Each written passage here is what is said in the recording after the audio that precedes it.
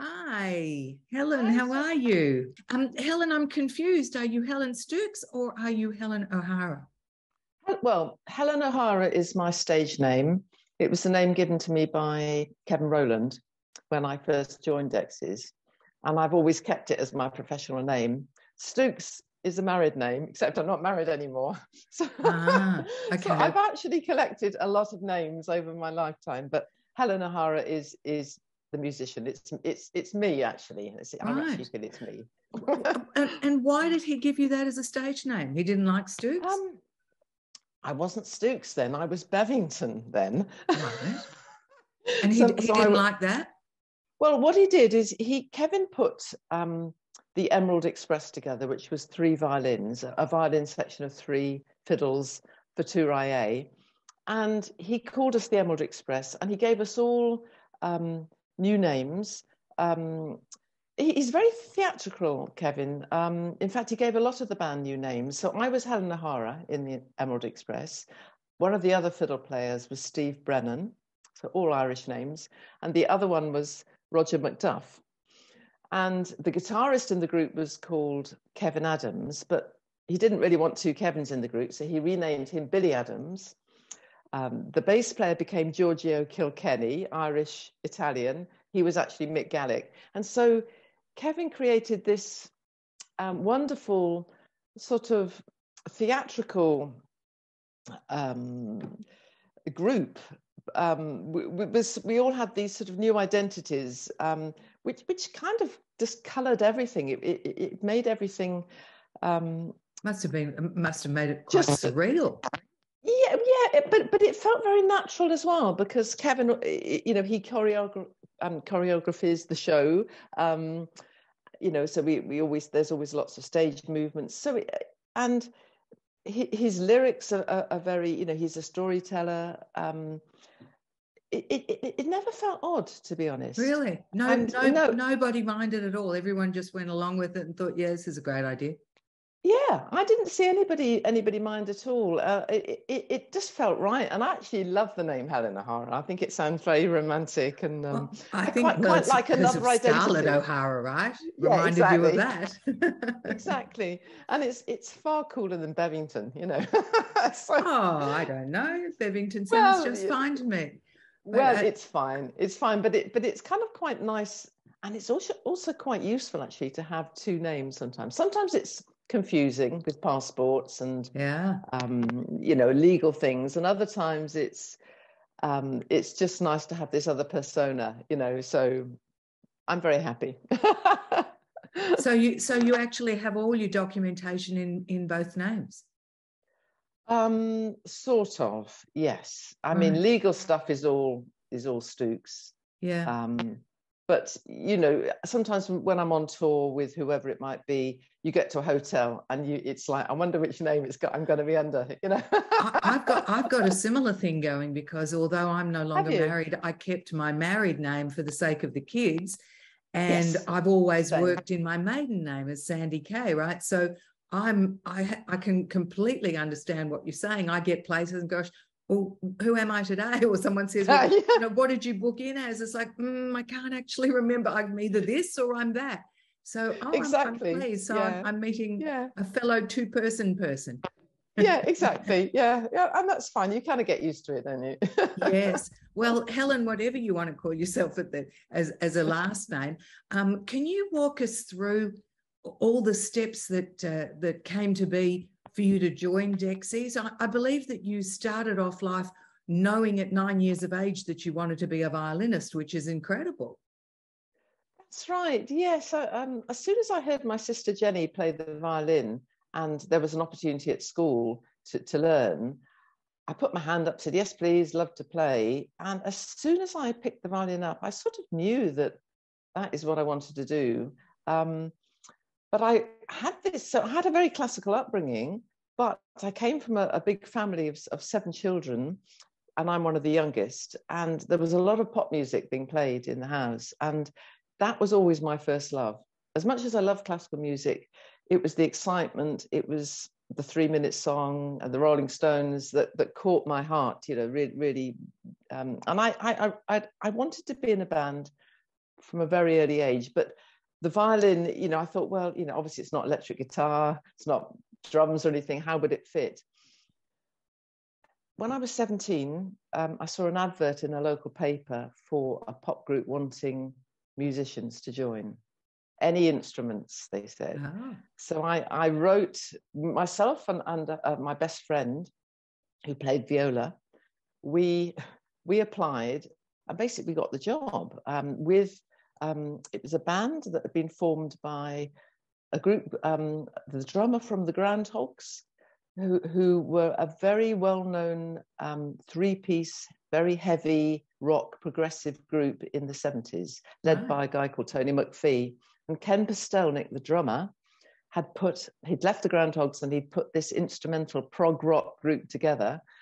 We joined, and that was my introduction and my way into pop music.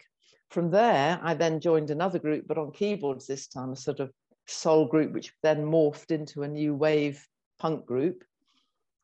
And then that group, that group did very well in terms of we we gigged a lot, we won a lot of competitions, we we made a single with the BBC, we won, you know, it, we were doing very well, but nobody signed us, no record company signed us, and we felt we'd gone as far as we could. And my sister Liz said to me, I was at a, I was at a loose end. I, I didn't really know where to go from here. And she said, well, why don't you go to music college and, you know, spend a few years there developing, you know, yourself as a violinist? And I thought, you know what? That sounds a really good idea.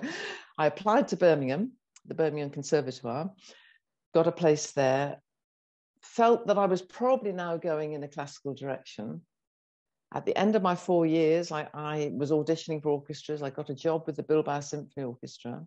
But at the same time, um, an ex-member of Dexys, Kevin Archer, had left Dexys. He'd formed a new great new group called the Blue Ox Babes. He came to the college looking for violinists to play on his demos. Found me, I played on them. He played those demos to Kevin Rowland from Dexys. Kevin Rowland then asked me to play on his demos. And basically from there, I joined in. Dexys. I was in. I was at the end of my degree. It, this was all just before Come on Eileen became a hit. I recorded Raillet with the band when I was still at college. I had this dilemma of a secure job with a Spanish symphony orchestra or joining Dexys, who had no money at the time. They were broke if Come on Eileen wasn't going to be a hit, the band would probably break up. But something in my heart said, "This, this is it. The, you know, the, this band is very special. Kevin Rowland is very special." Um, and I thought, you know what? Even if the band was to not make it, I've st- I can still play the violin. I can still find something else. I can maybe join another orchestra, another group. But a few weeks later, Come Eileen went to number one. It sure and did. from there, so you, it was magic. you definitely pulled the right rein, didn't you? But I can imagine that your parents must have been really upset with you. From the age of 17, you were already heading off in a direction that they, I'm, I'm, I'm positive, didn't condone. You could say that. Actually, my parents split up when I was a teenager, when I was 13. My mum had quite a difficult time with me because I was a very strong willed um, became a very rebellious teenager. And yes, she she really, I suppose she was just worried for me. You know, I was yeah. joining a progressive rock group. Yeah, she um, wanted you to have a future. Seventeen. Yeah, exactly. I mean, it totally understandable. You know, sex, drugs, and rock and roll not not great. You know. um, however, um, so so yes, yeah, so, so so then when I went to music college, she she thought great, you know, Helen's now seen the light, she's settled down. When I rang her to tell her that I'd, I wasn't going to join the orchestra and I was joining Dexys, she was so upset. She was just, imagine. she was beside herself because, you know, you can imagine she thought that she'd got me back on the straight and narrow, as it were. And, um, but then, of course, once I was on top of the pops, you know, she was she was over the moon. And was um, she was she was she really proud of you then? She was really proud of me. Yeah, yeah, she really was. And she met Kevin and she really liked Kevin, you know, and and she, she saw that I was really happy in doing what I was doing. And I think she then understood that you know if you have determination and and you you you have a talent and you know you're you'll be okay you know what i mean it's like you know life is all ups and downs and we all have to make choices and um yeah it yeah I think, well, and, I think and you certainly you certainly made your choices, didn't you? So just to back up a little bit, you played on the on the recording of Too-Rye-Ay?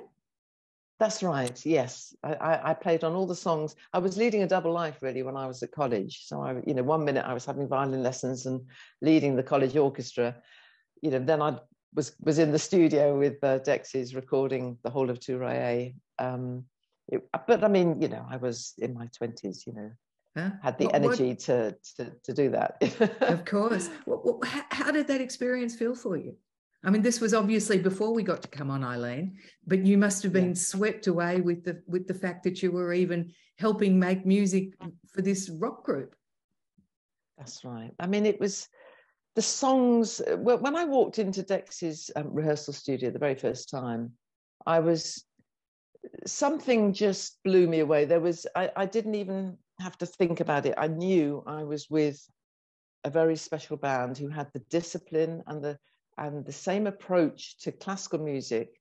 Um, you know, they, they worked really hard, they, their attention to detail.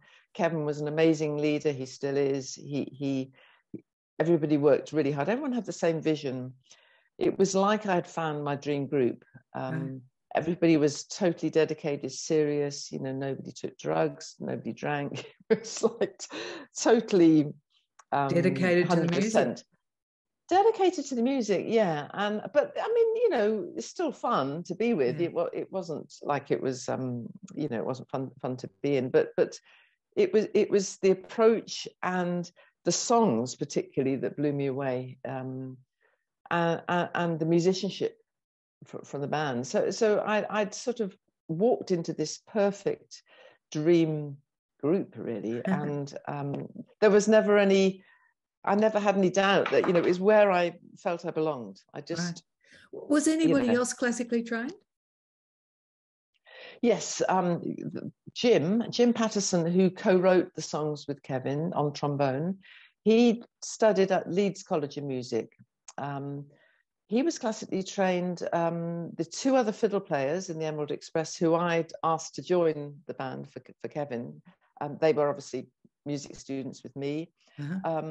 A few of the band were, were, classically trained but hadn't been to music college and the, the other half of the band like like the drummer and um, billy adams the guitarist were self-taught like kevin so it was yeah. a really good mix a really good mix of um, people who had the freedom to think without any any inverted commas rules uh, yeah. uh, that they'd learned uh, and those who had the the classical knowledge which was also very useful for kevin as well Right. So after Too-Rye-Ay, you you completed that whole album, and you actually joined the band um, as and uh, uh, you you you actually sorry, I'll just do that bit again. You actually joined the band and then made "Come On Eileen," which uh, spent 17 weeks uh, in the UK charts, four of which were at number one. Were you surprised by that? Um, I I think the success of the songs to me were always there. The the quality, the the fact I always felt the band deserved that expect that that sorry. I always felt the band deserved the success. Right. But to get to number one is sort of beyond your dreams, really. You know, you I'd never imagined that we'd be number one. Um, it, it's a weird thing. I, I felt more um, dedicated to the music and the group than than thinking about the the sort of media success of having a number one single, if you know what I mean. But when it did happen, it it, it was just amazing because then you felt that Dexys were getting the success that they deserved. They'd had a struggle, you know, to to, to get there because of lack of money and um, just that that sort of uh,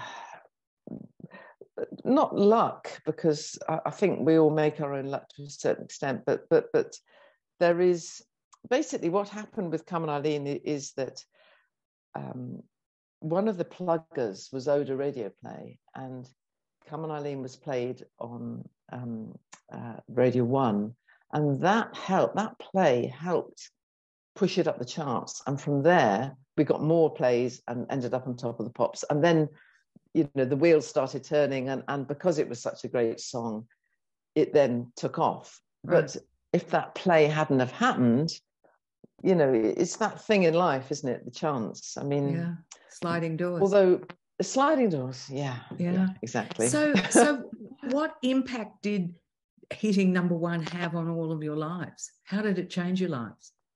Well, I still remained in my student flat. I didn't, um, you know, I didn't move out. I just sort of didn't have time really to look look for anywhere else. um, we were we were incredibly busy. Everybody wanted us, you know, to to do interviews and be on the TV show, and um, uh, you know, you you suddenly realize you don't have a minute to yourself. Uh, incredibly exciting. Um, just wonderful really. I mean it's euphoric euphoric for me. Um yeah i mean it was it was life life couldn't have got any better i don't think how point. amazing. Did you have to pinch yourself? It must have felt it must have felt very yeah. surreal.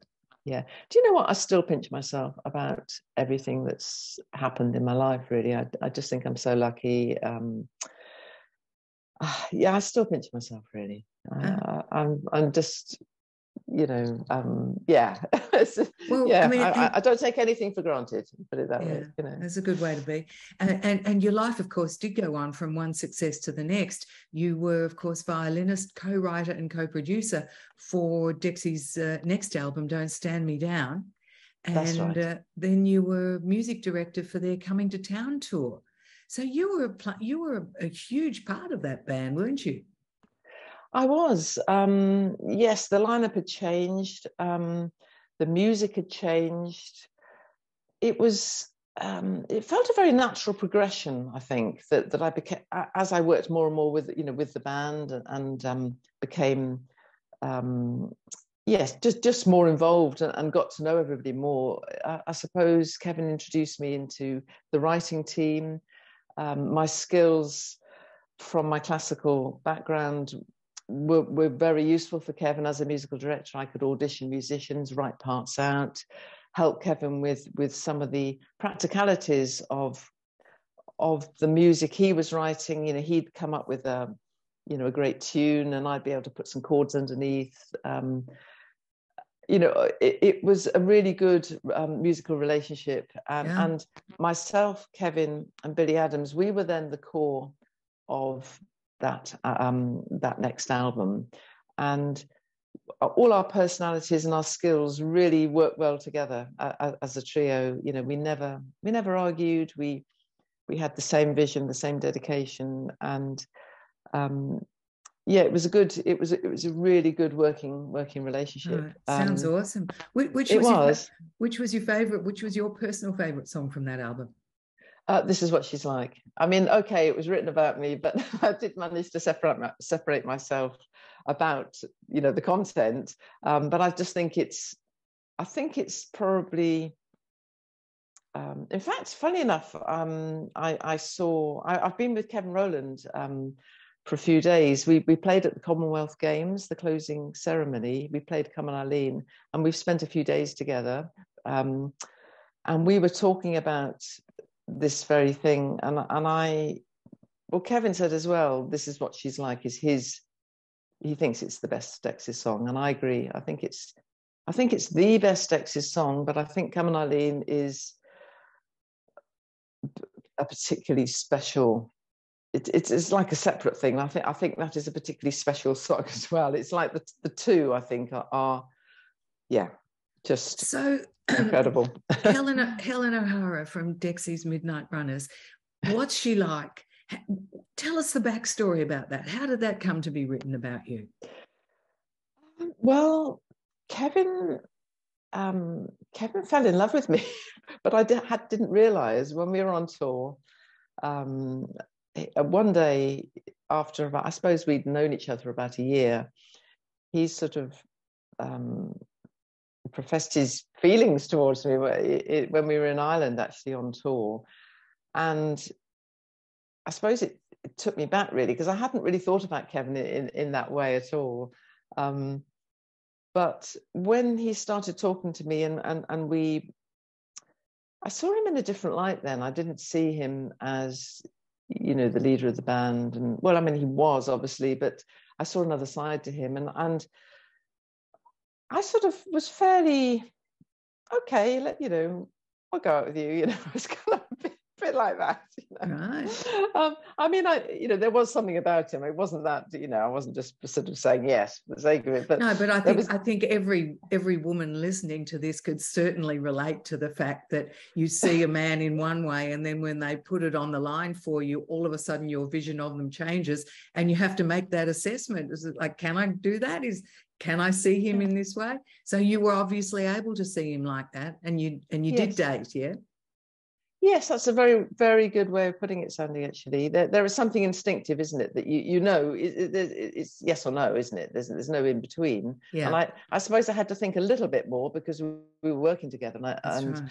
but but we started dating, yeah, and go, and, and, but fairly soon, you know, I really felt fell for him. You know, just, I mean, we really fell in love. You know, it was a really amazing. um romance. And then and then he asked me to move in with him and and you know we we started life together. And then he wrote the song about me and he wrote he wrote another song about me called listen to this. And and i mean i was able to separate separate that when we were working together. Um yeah i mean you sort of had to put put a, put things in a different context you know but but it was always there you know.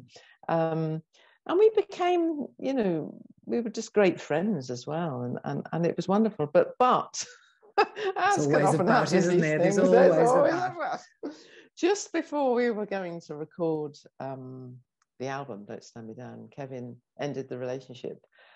I mean, he was, he was, he couldn't, as I say in my book, he, he couldn't have ended it in a nicer way, but you know, there's no nice way, is there? And I, of course, I was devastated then because it was sort of, I suppose my feelings had grown more and more for him, and he was then beginning to tail off. So it was this awful, mm. awful scenario. I mean, it was, it was a desperately sad time. I mean, it, but the thing with Kevin and me is that we, we both that you know it, it, was never even discussed that, that I would leave the group or anything. You know, we it was just we were we both knew how dedicated we were to the album, and and we managed to to continue working together and and separate you know our relationship ending with the job of making the music and and even though it was difficult for both of us um, and probably more so for me, I'm sure Kevin would agree with that.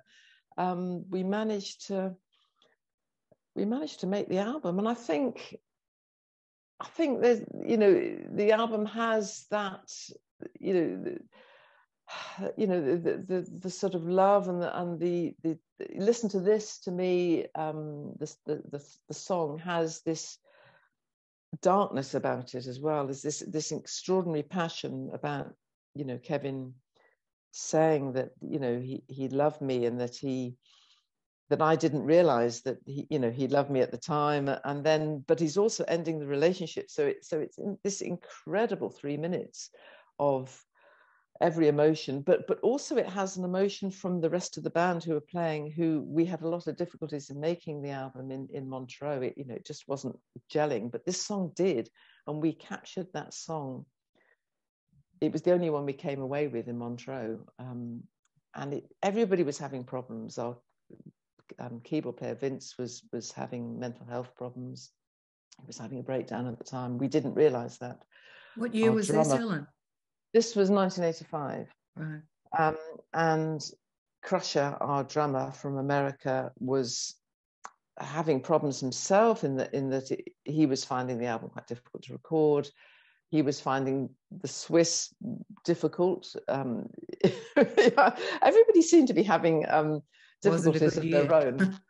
Yeah, I mean, um, and we were trying to make this awesome album, and and it nothing was working except that song, and it came out in that song, and then we had to had to sort of start again after that with new musicians or some new musicians.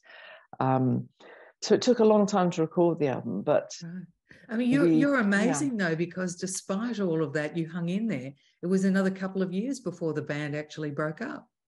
That's right. Yeah. Um, I, I think I've always been able to compartmentalize my life and, and work in difficult situations with other often tricky things going on. I'm sure a lot of people have to do that in their lives and and you can either do it or you can't do it. Well, and... that's right. I'm, I'm, not. I'm not sure that there are many that would appear to be quite as brave as you during those days. Oh. It would have taken a lot of courage to to keep putting one foot in front of another in those circumstances, for sure.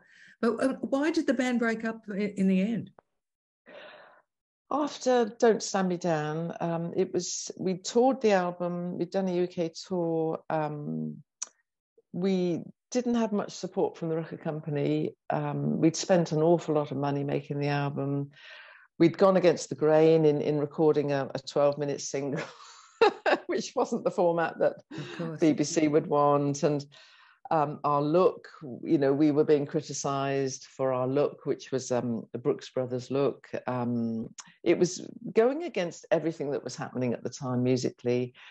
And so, you know, without promotion and support from the record company, the album um, wasn't wasn't a commercial success. It, obviously, for us, it was it was a creative success, but yeah.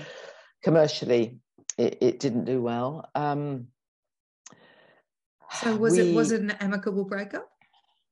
Yes, it was. We after "Don't Stand Me Down," we were asked by the BBC to rec- to make a theme tune um, uh, piece of music for for a, a very long running successful um, sitcom called Brushstrokes, which uh-huh. which was probably the last thing people would have thought Dexys would have done. And we recorded a single called "Because of You," which which was the music for that, which became a top 20 hit actually. Um, um, a, a, really lovely song. Um, another song that was sort of written about me actually. Wow, but was, aren't you lucky? I can hear all well, of these people in the listening to this going, "Oh gosh, why isn't there a song written about me?" In fact, I'm thinking the same. Why hasn't no one written a song about me?